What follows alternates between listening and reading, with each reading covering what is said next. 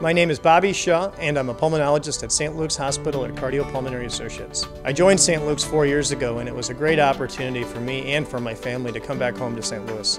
Here at St. Luke's, we practice general pulmonary medicine, treating patients with all pulmonary conditions, including COPD, asthma, lung cancer, and a number of other conditions. Since joining St. Luke's, we've also had the opportunity to advance our lung cancer program. Our goal at St. Luke's is to provide the best patient experience with a multidisciplinary approach to lung cancer.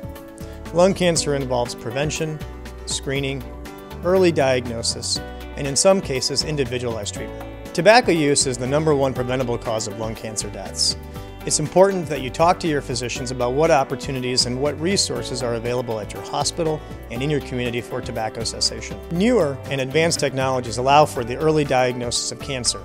For further information to see if you qualify for lung cancer screening or if you have any general questions at all, please feel free to contact our physician referral line and speak to your physician as well.